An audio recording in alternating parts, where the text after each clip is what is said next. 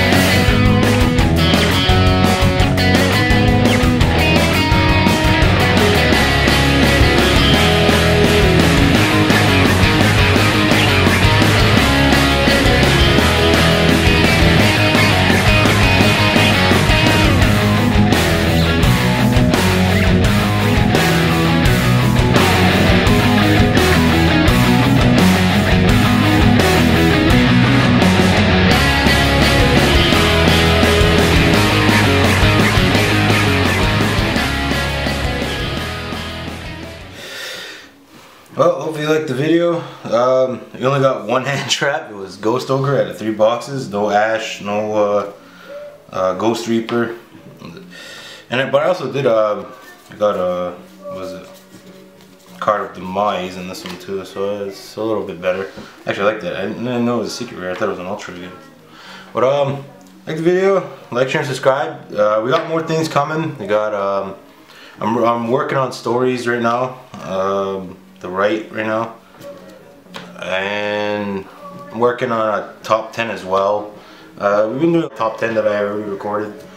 So um, yeah stick around.